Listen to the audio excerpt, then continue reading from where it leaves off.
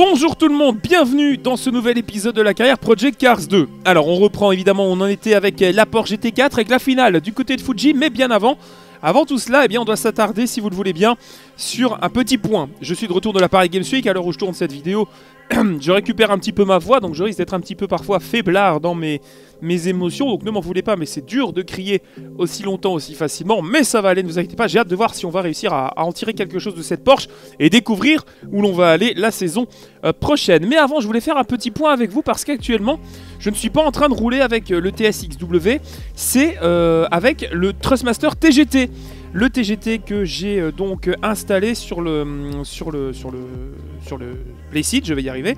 Alors en fait la particularité c'est que j'ai le volant 599XX, comme ça vous savez tout, j'ai pas le volant d'origine parce qu'il était un peu trop petit pour moi.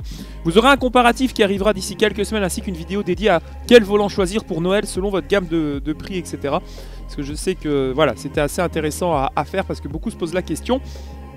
Alors, sachez qu'il n'y a pas de Trustmaster TGT, c'est-à-dire que le TGT n'est pas reconnu encore par Project Cars 2. Donc ce modèle-là, pour l'instant, n'est pas dispo. Donc je vais vous montrer avec quoi j'évolue.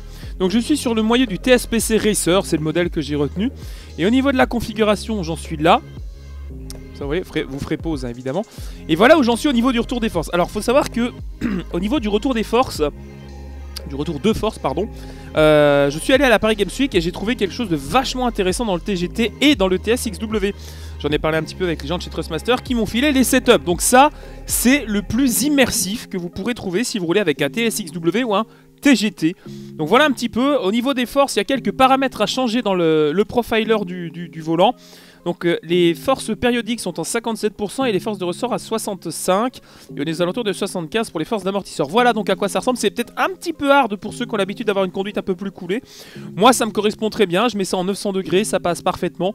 Donc on va voir ce que cela va donner. On va tout de suite, si vous le voulez bien, se lancer euh, du côté de la carrière euh, maintenant sur Fuji. Donc avec la dernière manche. Regardez au niveau du classement, on est 10 points derrière David Smith. Donc on va essayer de voir si on peut évidemment aller chercher le, pilote de tête et on découvre ça avec euh, la pluie qui nous attend du côté des essais ici au Japon, à Fuji.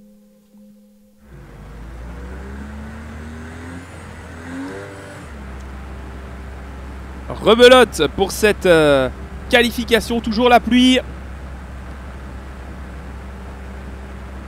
Alors on va se calmer.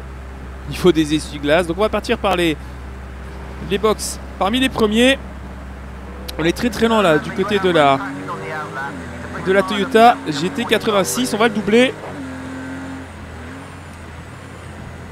Et on se retrouve, si vous le voulez bien, du côté du premier tour chrono de cette qualif. Le temps de mettre les gommes et la voiture en, température. Allez, sortie de l'épingle. Un petit peu raté la sortie là. Et euh, la pluie se calme peut-être un petit peu. Allez, on essaie de faire ça bien. Pour aller chercher la pole. Selon notre spotter, j'y crois pas trop. On est assez rapide du côté du bout de droite.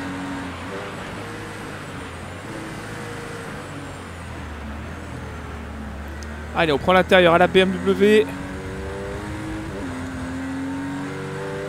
on est plutôt bien. Alors attention, se mettre devant euh, l'un des autres pilotes en, en qualif comme ça ne veut pas dire forcément qu'on va faire une pole démentiel. Il y a des IA qui sont un peu au ralenti, même beaucoup parfois, dans ces conditions changeantes. Alors là, on repasse en 3 pour essayer de récupérer un peu de réaccélération et de couple.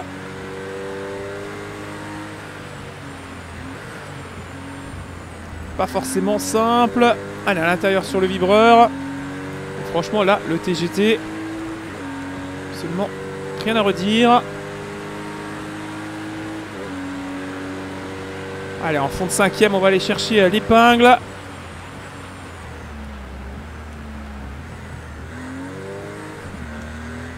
On est un petit peu loupé là sur euh, ce virage qui rappelle un petit peu, si vous vous rappelez, le deuxième virage de la piste euh, de Snetterton. Alors que là, on a complètement loupé la trage. J'aimerais paraphraser Nicolas Prost, mais je vais éviter. À Monaco en Formule 1. Un bon tour de... Voilà.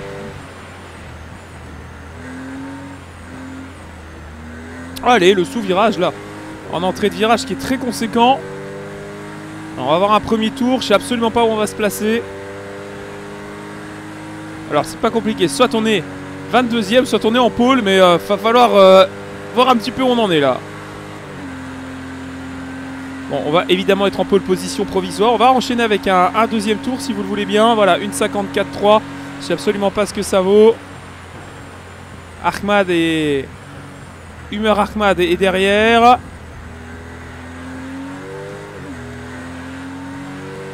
Ah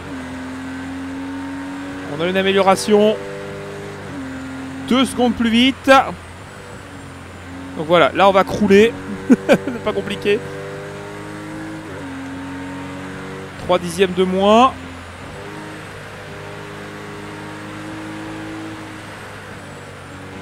Je sais pas où on en sera au niveau de la course euh, parce que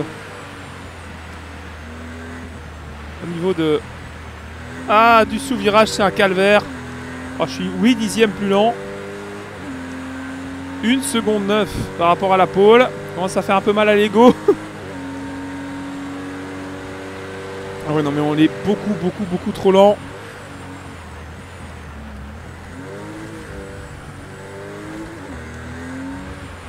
Déjà, on tartine énormément. Et on tartine même un peu trop. Et à l'issue de la qualification, c'est David Smith qui a fait le travail en prenant la pole position. Il est bien placé pour remporter ce titre de champion GT4 ici. Le titre intercontinental qui va se jouer entre lui et nous. on part 9ème, c'est pas top non plus. On voit qu'Eric Schramm a eu du mal avec euh, la deuxième Porsche de l'équipe Falken. On va voir si euh, le départ peut nous être favorable dans des conditions qui s'annoncent pas top.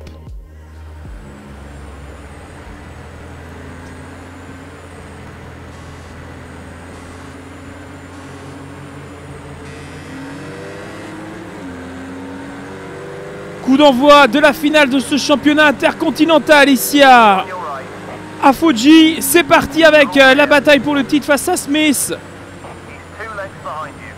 Oh attention parce que David Smith là qui est attaqué de toutes parts. On est resté en troisième sur ce coup là. On est derrière les deux Aston Martin de l'équipe Pirelli. Ouais, devant Smith qui va se faire attaquer par Gomolka. Et Gomolka qui prend la tête alors que nous on est au contact avec euh, Martin Webb de Groot, troisième. Notre équipier Schramm a perdu encore une position. C'est Rick Schramm que vous devez suivre. Notre équipier va-t-il pouvoir euh, nous aider dans cette euh, lutte pour le titre de champion? Alors on a baissé un peu la pression des pneus pour gagner peut-être quelques degrés de température. Mais on va voir si ça va nous permettre peut-être et d'aller chercher euh, une voiture en meilleur état en fin de course. On va voir. On va essayer déjà de faire les freins à l'une des Aston. On est un peu loin. On lance quand même l'attaque. Pardon, monsieur. On prend la troisième place. Les deux Aston ont sauté au freinage. Et là, on est dans un scénario idéal pour le championnat. Il faut doubler le plus rapidement possible. David Smith À l'intérieur sur David Smith. Et on est deuxième. Deuxième position. Et à mon avis, dans la ligne droite, avec les pneus qu'on a et le setup, ouais, je crois que Gomolka sera une formalité à aller chercher. On s'attaque à la Porsche de tête. Et on s'empare du leadership de cette course à même la fin du, premier tour. On va pas oublier de passer nos vitesses quand même pour autant. Et bien voilà, premier tour couvert ici sous la pluie à Fuji. Et nous sommes en tête et pour l'instant potentiellement champion.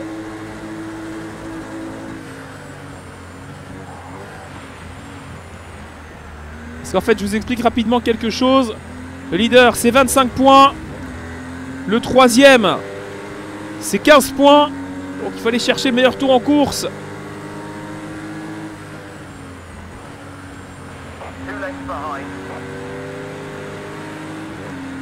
Alors c'est moi où il pleut un peu moins. Attention parce que si la piste se met à sécher, ça peut être aussi un problème pour nous. Hein. Euh, le sous-virage, là je peux rien faire, je suis arrêté complet, Shram. Derrière n'est pas là pour m'aider. La deuxième, c'est quand tu veux pour la mettre dedans. Hop, et le contact Le contact avec la voiture de Gomolka. Et attention parce que Smith Smith prend la deuxième place avec ça. Ah, ça nous arrange pas des masses.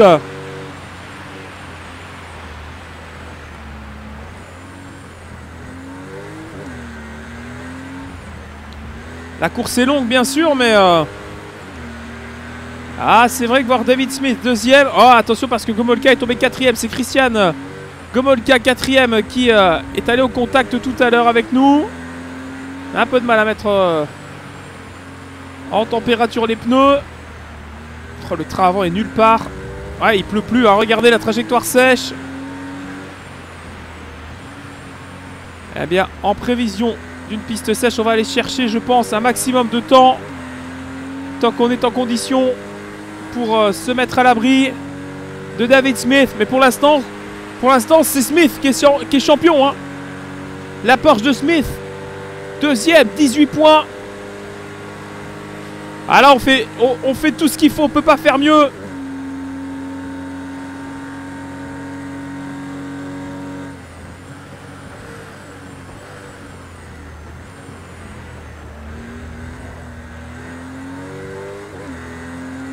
Bah, écoutez, euh, on va étaler les essuie-glaces parce que là il pleut plus, plus grand chose sur le pare-brise.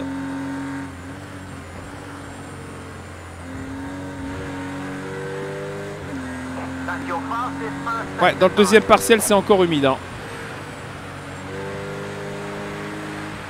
C'est encore fort humide dans le deuxième partiel. On perd du temps. Smith qui revient.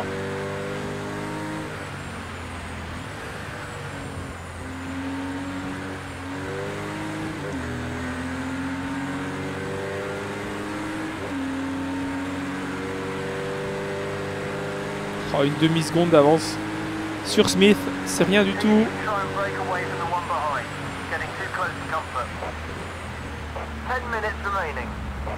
Allez, le tiers de cette euh, finale ici à Fuji avec euh, un partiel quasiment sec, un partiel euh, variable et un secteur détrempé.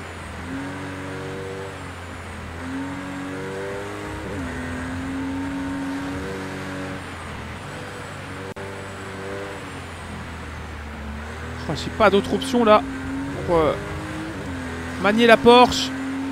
Attention parce que Denis de Gros est pas loin. Oh là là. Sous-virage supportable.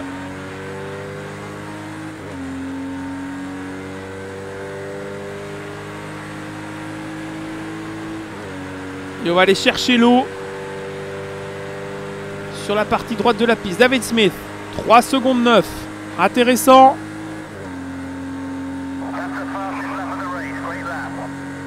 Meilleur tour en course.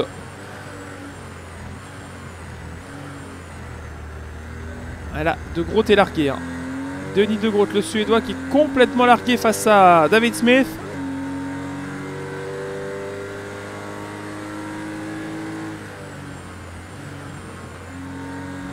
Là, on donne vraiment tout ce qu'on peut dans la voiture.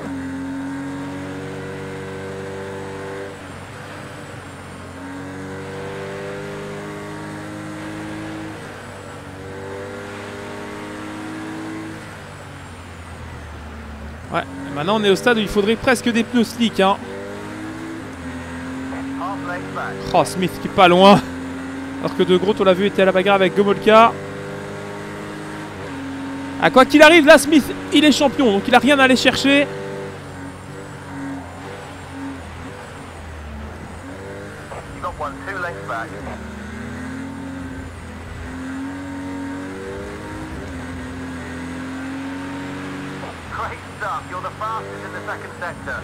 Allez, on est plus rapide dans le deuxième partiel. Dû tout simplement aux, conditions météo. 7 minutes 40. Faudrait qu'il repleuve peut-être presque maintenant. Parce que là, sinon, on va, souffrir hein, dans les minutes qui arrivent.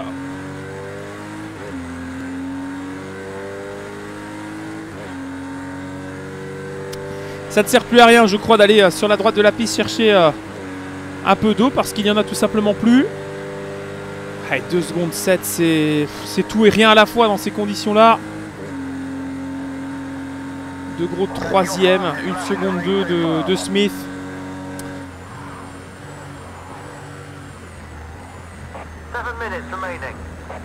Allez, on cap de la mi-course. Et passé maintenant. Oh, et Smith qui est vraiment pas loin. La pression de la Porsche. Oh, il plonge Oh, mais là, Smith, je suis désolé, il n'y avait pas la place. Il l'a lancé de trop loin. Avec toute la bonne volonté du monde. Oh, attention, parce que ça peut permettre peut-être à... À Denis de Groot de revenir, alors qu'on nous annonce qu'il va pleuvoir dans quelques minutes. Allez, la deuxième rentre dedans, s'il te plaît. Oh là, on est en train de baliser, mais comme une... Je vais me taire, mais là, c'est horrible. On balise d'une force face à la Porsche de, Smith qui est vraiment rapide sur le sec.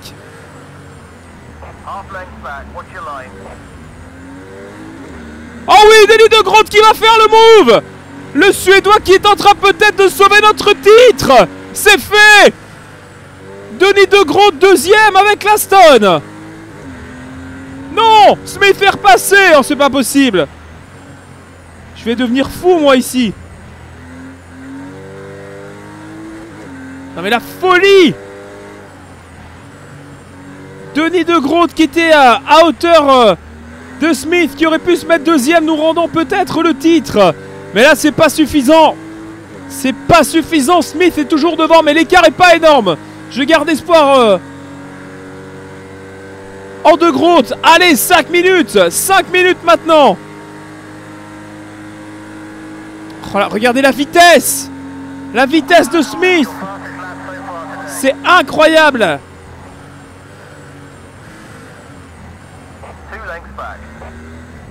Je protège, mais alors comme c'est pas permis. Réaccélération compliquée.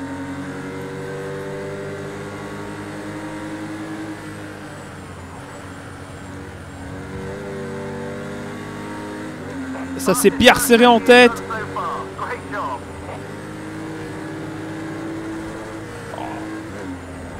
Smith est passé, il a un grip incroyable à l'extérieur, je peux rien faire.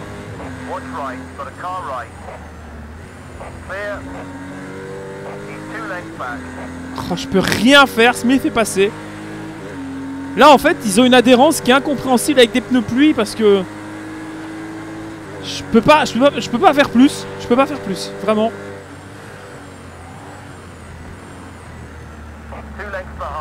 Bon, Smith est en tête. Pas de regret.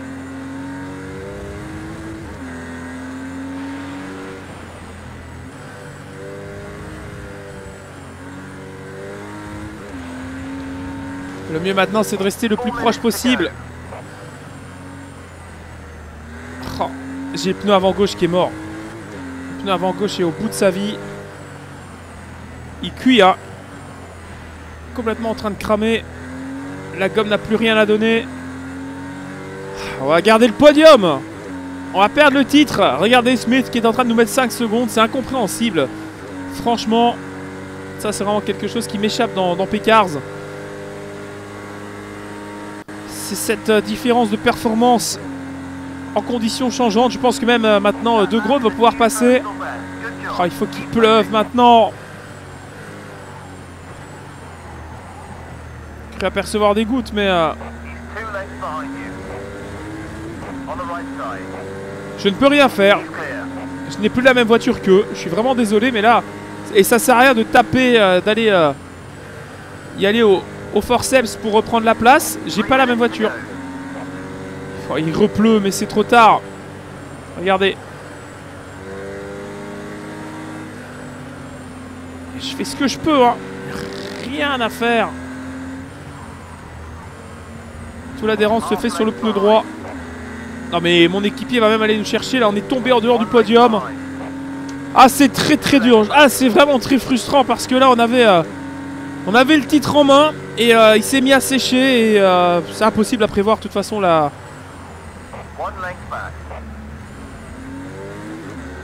La pluie, impossible de rentrer au box changer parce que pas assez de temps.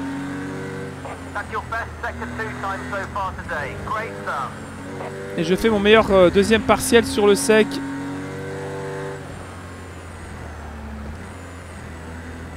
Allez, non, il n'y a rien à faire.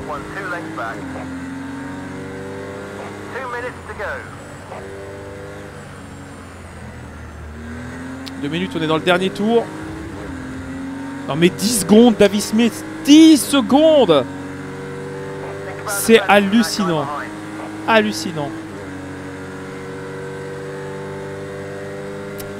Ah, je suis au fond là.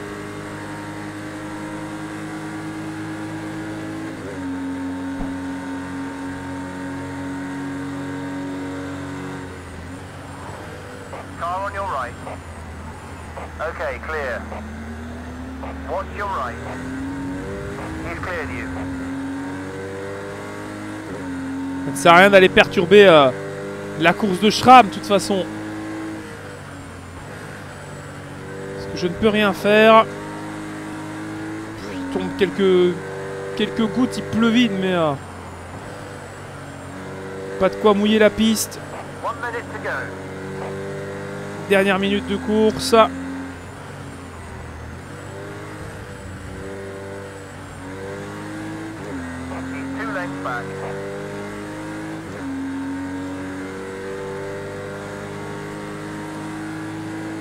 Ah c'est... Je suis... Euh, j'ai pas de mots. J'ai vraiment pas de mots. Ah, effectivement, sur une longue course, il y a moyen de rentrer, avoir une stratégie. Là, sur 15 minutes, qu'est-ce que vous voulez faire? Je rentre au box, la course est terminée. On va essayer de garder... Euh, maximum de points. 20 secondes.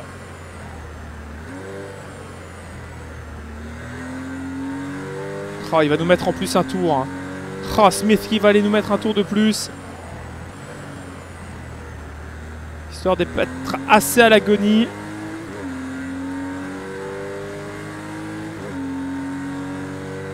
Oh là là.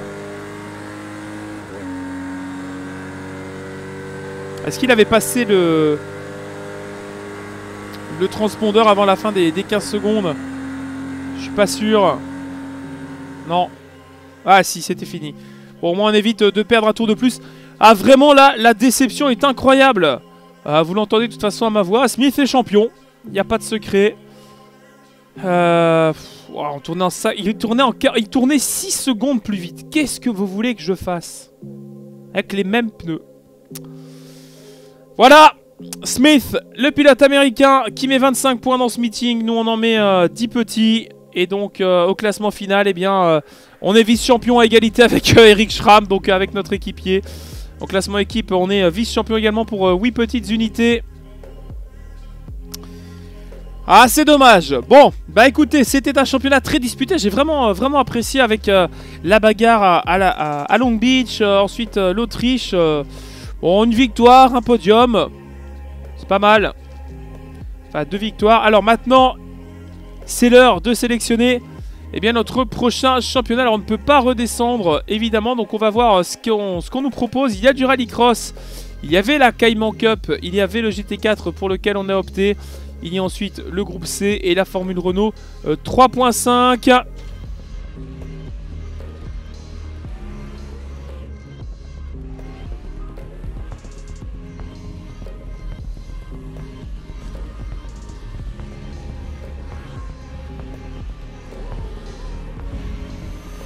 Vous l'avez donc compris, on va se retrouver pour une saison de 4 courses de Formule Renault 3.5. Ça se passera donc du côté d'Algarve au Portugal, le Red Bull Ring, ensuite Hockenheim et la finale à Barcelone. Merci beaucoup d'avoir suivi cette saison de GT4. On continuera donc en 3.5. Je rappelle évidemment avant que vous le mettiez en commentaire qu'on pourra revenir dans d'autres divisions. Il y a encore plein de choses que j'aimerais faire avec vous, notamment le groupe A et le super tourisme historique ou encore le super trophéo. N'hésitez pas à mettre un petit like et on se donne rendez-vous donc dès le prochain épisode avec la Formule Renault 3.5. À la prochaine et d'ici là, bon amusement en piste les amis, quelle que soit votre simu favorite. Salut